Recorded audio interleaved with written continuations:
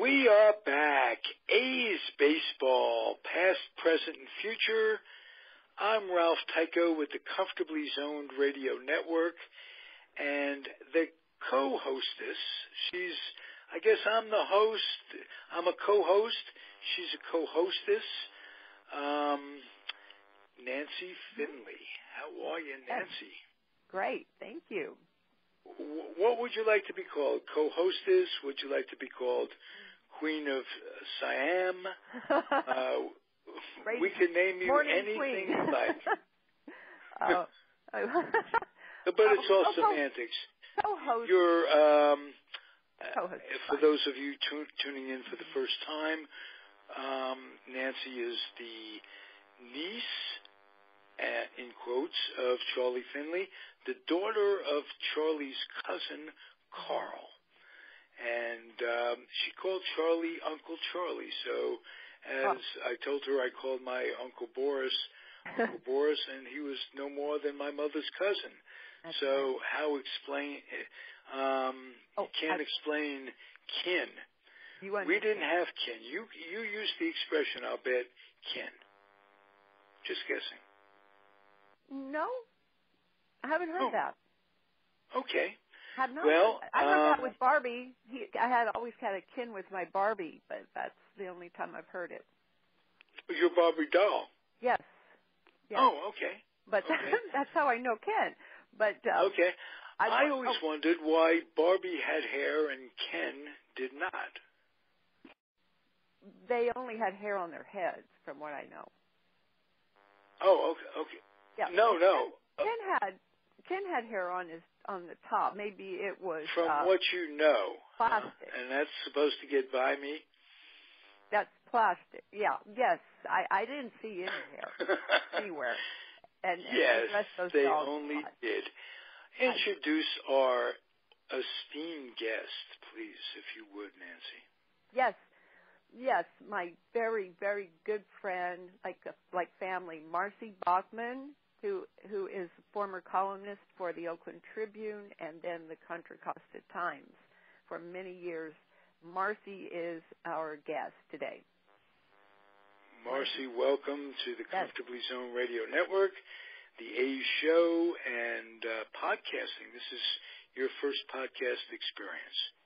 And, and Marcy, actually, it is. It is. And my first podcast experience. Mar- I have to, Wow. I forgot to say, Marcy covered our World Series when no other female did, uh, journalist. So Wow. Marcy broke ground. Um, I wonder if you two women know uh, Sherry Davis, who broke ground on the Giants side as the first public address announcer in um, female p- public address announcer. What year was that? Uh, later on, sometime in the um, in the 80s or 90s, probably. You see, Marcy paved the way for her. Yes, that was. Um, I I don't I didn't know her, but um, Marcy paved the way. Yeah. I mean, Hey, Marcy, thank you for that because anytime women are empowered, men are empowered. And folks don't realize that. A lot of folks don't realize that. Um, and Marcy Well, knew Charlie and Dad from um, her own perspective. right.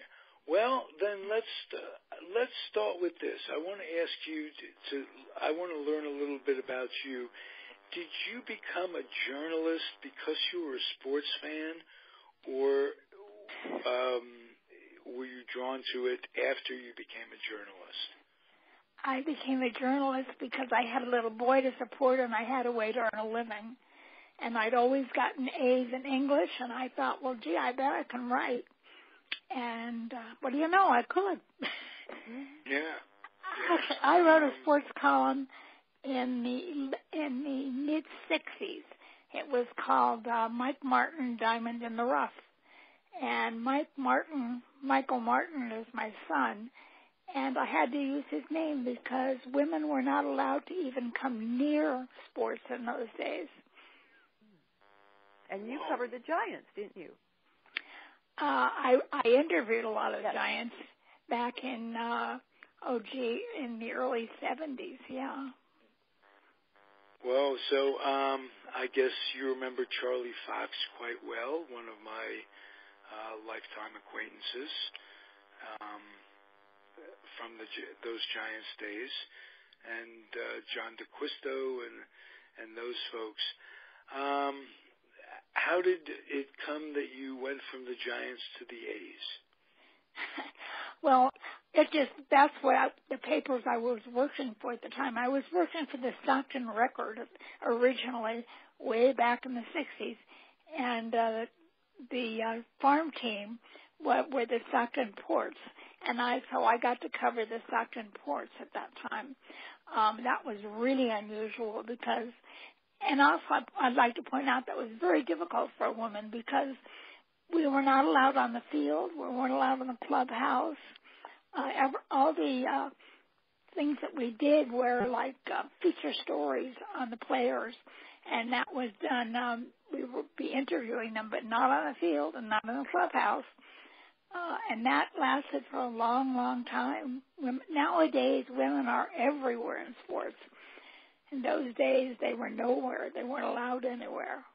Is that how you uh, were? Did you go to the Oakland Tribune before covering the A's? yeah, yeah. I, I wound up working for the Oakland Tribune, and because of my background and because I had met Charlie, Charlie Finley, and. Charlie and I hit it off right away hmm. because he liked Oscar, Oscars. Oscars. Pardon me? At Oscar's restaurant in Oakland. Yes, that's where we met. Mm-hmm. Because Bill Fiset, who was the lead lead columnist for the Tribune, um, and I shared an office.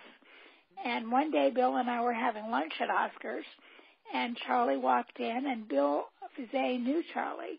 Mm-hmm. And he said, "Would you like to meet him?" And I said, "Sure." And we were, I was introduced to Charlie, and as I said, Charlie and I just hit it off right away.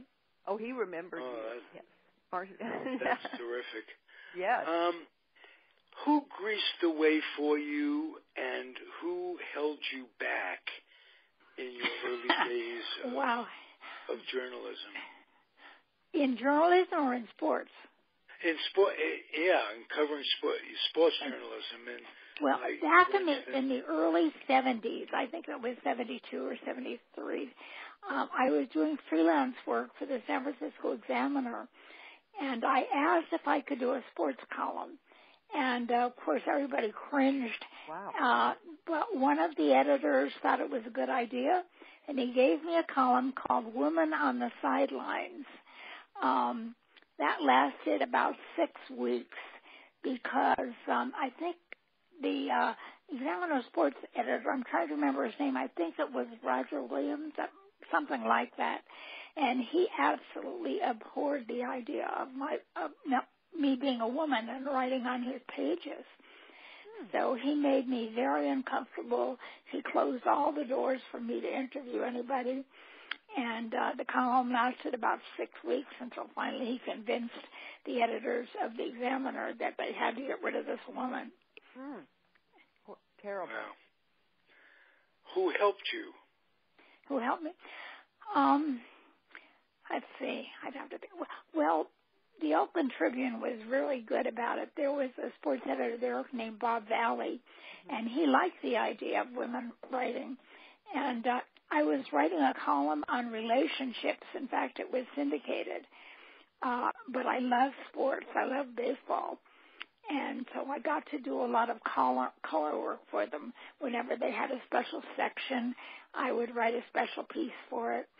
Uh, and so Bob Valli was very good about that. And in fact, all the editors of the Tribune were really good about it. So that kind of helped me along. Marcy, did your son get into journalism? No, he didn't. Not at all. A lot of other things, yes. No. Okay. Okay. Just curious whether or not you passed that on. Um, and I was going to ask you whether or not you keep up with the game today. Oh yeah. I try to watch as many A's at games as I possibly can. I'm a big A's fan. He is, and I want well, to say I think and Marcy you, like me, we were, and probably Nancy, were heartbroken last night. I thought it was one of the toughest losses of the season. They put up eight runs in in one inning, and um, and it was like Ken Korach called it. He said, "Wow, we're not scoring any runs, any more runs. Mm-hmm. I hope we could hold them off," and they they didn't. But you could hear it in his voice. Huh? Well, I didn't watch the game, but I'm guessing, just a guess, that um it was the bullpen that let them down. Uh-huh. Well, um really, it it was. Um You're good, Marcy. yes. Um mm.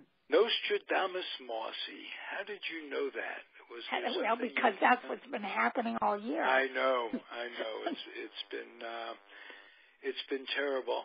Marcy, maybe we're going to have Nancy promised us the owner of the A's is going to come on. The uh, president, Dave, yes. Or the president. Um, but, but from your standpoint, where do you think the stadium, and there will be a new one, they cannot possibly lose all three teams. Oakland, I'm, I'm talking about. They they're losing the, in the process of losing the Warriors the Raiders are all but are gone, and they're just playing out the string. And they'll keep Oakland Oakland A's, and um, from my from my standpoint, thank God they it was the A's that they kept. Um, where do you think there'll be a new stadium? Do you think it'll be on the on the site, on the former site, the the one near Laney College, or where I would prefer it to overlook the San Francisco gem of a ballpark right on Jack London Square. Um, what do you think? Well, isn't the uh, favored site right now the where the where the stadium is right now? Because that I, is I, indeed the favorite. That is the favorite site because it obviously it, everything's in place. Bart's Bart's there. If they but, do that, I'd like to see good good hotels come back in, or like you know, like we used to have, like the Hyatt. Right, that's true. It will rejuvenate the uh, Hegenberger Road. Yes. Um, is that the exit, if, if I'm not mistaken? Yes, straight. To, um, it will rejuvenate that area um, tremendously.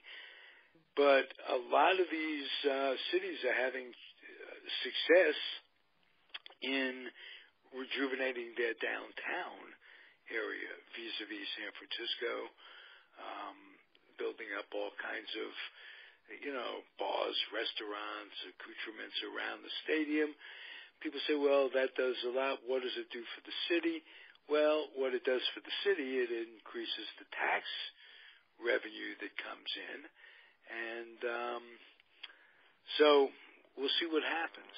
We'll I was see what thinking, happens. Would, wouldn't it be great to just create an island off of Alameda and put it there? Make an island off of Alameda.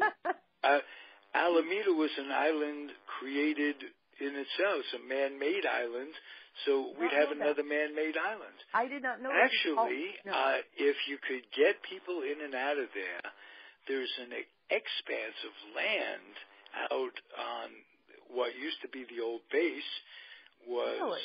turned over replete with radioactivity that hmm. um, you could buy a Geiger counter or set it off oh. in Cleveland. oh, ra- really? Radio. They re- it's impossible to clean up that stuff. It is. But well, they, God, what great real estate! It's great. It's prime real estate, and um, they if but you couldn't get you couldn't get folks in and out of there. Although there should be a way to have people come to a destination mm-hmm. And with their cars, their automobiles, where they could park, and then bus them into the stadium, so you you don't have the craziness. I don't, don't know why city planners never never came up with. Oh, I know. oh, tell me I, why. I, I agree. I agree. Oh, okay. Planners. I go. I I rant about planning all the time in cities, but but with it, it's either you know have it where it is possibly, or get it out um, as far on the water as like to, to compete with what the Giants did. Right. Yes. Right. I'd I'd love to see those two stadiums overlook each other. Oh, I know, I know, and and and you know, get it as far out in the water as possible. That's why I was wondering, do we have anything that could possibly branch off of Alameda like like that? I didn't know that was so radioactive. Oh well, that they're claiming that they're cleaning it up and what have you, but by nature of the beast, hmm. the shifting tides hmm. make it virtually impossible to them.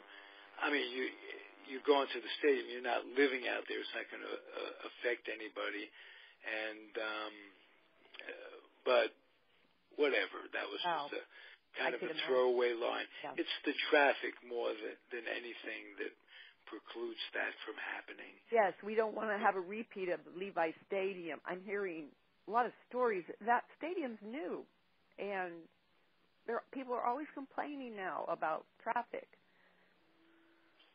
Right. Oh, you mean in Santa Clara? Yes. Yeah. Yeah. That's so new. Um, I wonder. I wondered why they never named the stadium, the Oakland Coliseum, in honor of the Haas's Levi Stadium or Finley Haas or whatever. I know. Uh, they were making money well, by doing the um, sponsorships. Right.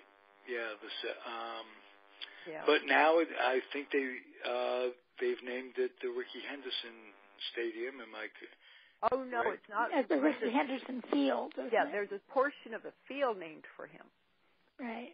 Oh, oh, but they didn't. Oh, okay, I get it. Yeah, they haven't named they the stadium. Name they're, the they're stadium. Portioning, yeah, they're portioning off bits to you know dedicate. Okay, so I it, get. It can, I get. There's that. a lot of stadium there, so it can still happen. right. because uh, pretty soon we got to get the Teddy Kubiak's portion of, of the stadium going. My, yeah. Our mu- our mutual friend, mm-hmm. and um, then we'll have so we'll sponsor that. Okay, Marcy. Now I'm going to ask you some questions. When you first started covering baseball till now, changes that you like and changes that you don't like. Are you talking about rule, rule changes? Because I can't keep up with those. Well, not okay. Well, just the overall state of baseball. How how do you think it's going? and um, what's going good? What's going bad? I think baseball's always going. I mean that that really to me is America's America's game. I mean, kids have been playing baseball forever, and and um, it's a game that's easy to understand. It's it's fun to watch, and um, I think baseball is going great. I just wish they wouldn't keep expanding it. It's getting to the point now where baseball is being played into the into mid or late October, and that's not that's not past the boys Halloween. of summer. Yes. yes, not not never past oh. Halloween. That's not right.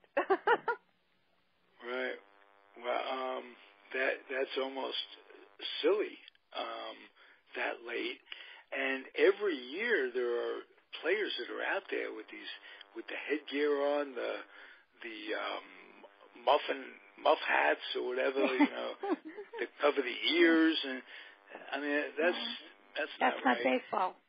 That's you know not baseball, more, and they should have more. Days. It would be nice. I know it's never going to happen. We should have kids should be allowed to watch the World Series during the day I'm not going to stay up for it until all hours of night. But because um, Uncle they, Charlie, Uncle Charlie wanted night games, but he said yes, he didn't want I remember all, that. He didn't want all night games. It, it like went in the reverse. There should be more day games, and think of all the power that that uh, is taken up with these lights. They paid, we paid ten thousand a month to PG&E for night games so hmm. if they had day games, uh, that would save on also the electricity. It would be greener, as they say. And um, yeah, but it's t- it's a it's a game run by TV, and you know, I'm just, it's just almost a fantasy at this point. I'd like to see double headers too. I mean, how many? Yeah, there used to be a lot of. Oh, I remember those. I remember those. When, you remember that? When the first one had tied up, then the second one tied up, and you haven't eaten in 12 hours. And I mean, you're and waiting. all this there is ballpark food. Yes, yeah, yeah, exactly. So, uh, oh my gosh, I thought, I wondered where the double headers went. Where did they go? Well, they went to again. You could um, revenue. You make more money by charging separate admissions. Even Oh. the day-night doubleheaders are are separate admissions, and even now, sometimes when they make up games, Mhm. they're separate ad- admissions. Well, I'll stay quiet. The Mets had an exception earlier You asked Marcy, so I'll stay quiet. Don't let me talk like this. Oh, what? Marcy's, it's Marcy's opinion. Okay. Well, I, I just remember we were there in Candlestick Park the day that the uh, 1989 earthquake period happened. Um, Right? uh, and they they eventually sent us uh, a notice saying that we could get into the makeup game of the series for free. And we didn't have to pay extra for that to see another game of the World Series Well, yeah. Right. Because the first game was never played. But we had a heck of a time. What is that noise? I don't know. I, I was going to say I've never, I, I've never seen players wait six weeks to resume a World Series. That was really, I could see the difference in how they played. My picture of that is the players down on the field with their wives and their Mm-hmm. babies, Right. and j- in uniform, holding holding their children, and with looks on their faces that uh, they're just human beings. It's like when um, uh, Joe DiMaggio, a- after the the earthquake, was um, pictured just walking around with a a, What? When was a shopping bag, When was that? um, which turned out to be filled with a whole bunch of cash. Um, but um, and he was waiting online. He was just a, an unassuming gentleman. We're all human, and um, you know, tragedy strikes every everybody and everybody's family. And uh, was there another earthquake- earthquake in San Francisco years ago? uh, pardon me, Nancy, I didn't Was hear this that. another big earthquake in San Francisco years ago with Joe DiMaggio? Well, this was in '89. Oh, oh, that's right. As, okay. okay. You know, you know what was really great about the '89 uh, earthquake? There was one thing that was really great. what was It it? just showed real baseball players and real base, real baseball fans because it was a horrible shaking of the stadium. Um, everybody looked around at everybody else, but as soon the minute that the earthquake ceased and the shaking stopped, everybody yelled "play ball." Really? Yep, everybody in the whole stadium yelled "play ball," And then what happened? Because they didn't. and then they looked oh out no, on the they field. did not. No, No. they they worried about the uh, structural integrity of the Oh, stadium sure. itself. Um, I mean, Did the players they yelled play ball, but they were quick out. They were quick out the door like everybody else. That, oh, well, that the, was, the the field was covered with police cars. They were they were not going to play ball. Oh, Okay. right. Oh, interesting. I didn't hear that. Um, yeah, Mossy, what was your first story? Your first byline? My first oh my first by- byline was written for the Stockton Record, um, where I was working. I went I went to work for first. That was my first allegedly metro. Oh, and um, my first byline was I wrote a story about the fact that it, that spring was coming, and I even remember my very first uh, line was. Um, spring has come, the flowers riz. I wonder where the rest of them is. And um, that that was my first uh, byline, and it was not was not a baseball story or a sports story. In fact, I was Wow. writing for the women's department, which papers no longer have. I don't remember those. Could you give me a year to that, Marcy, without dating yourself? oh, oh, sure. It was. Um, let's see. I went to work for the record in 1965. 65. I was. Okay. Uh, if I tell you how old I was, I'll give away my age. Well, don't don't do that. It's a secret. You know, we're all ageless here. I came out to California. I joined the Air Force in 1965, as a matter of fact, and was stationed out here, uh, originally from back east. And um, so I'm no spring chicken either. That it doesn't matter. We have uh, seem to have what it takes to survive, which is uh, most coveted by folks, and that's the ability to think and reason. Um, you know, beyond your years. So um, that's a good thing. My son was in the Air Force. Oh, really? Really? Yeah. Was he stationed at Travis? Uh, no, he was a survival specialist, and he was in uh, Fairchild Air Force Base in Spokane, Washington. Oh. And then he was down in Florida somewhere. I don't know the So name of the good. base. So good to know. Survival specialist. I want his Uh, number. that that's good. Those are skills that carry on into civilian life. Mhm. Did he get, stay in to uh, have a career? No, no, no, no, no, no. He spent his four years and got out. He, Okay. he, Well, he that's designed basically video what games. I did, but Yeah. um, Oh, Hey. oh, Ralph, I want to tell you, I had a review from the Hall of Fame. Uh, my the speaker series overall was uh, deemed, I guess, the um, the most, uh, I guess, the best they've had. We I received an email yesterday. wow. Yes, it was addressed. hey, hmm Uh, um, for those of uh, the folks who uh, didn't hear, Nancy, uh, would you review uh, where this is coming from? What? Oh, what I, What I had a day in Cooperstown. I was invited to a today uh, for a day to do a presentation and book signing in Cooperstown, and they pick about nine authors for a summer, and they space them apart one week. So my day was August 9th, and I I had my day. It went really well, and yesterday all the authors together received a group email just to say it was the um, I guess the best most the best received since they started this. And Nice. uh, I yes, it, it was really nice to see um, because I know they're uh, things are very conservative, and for them to do that, it means a lot. I just love getting that email. Nice. Just So- uh, keep it and uh, put it in the next book. Oh yes, yes, yes. So they had they had a good turnout and they had a good response on the um, I guess the variety of topics. That's what they said. Fantastic. Yeah. Um, ladies, you've been terrific today, and Marcy, I hope you'll come back and uh, come back continually. Marcy knows a lot more and has a lot more opinions.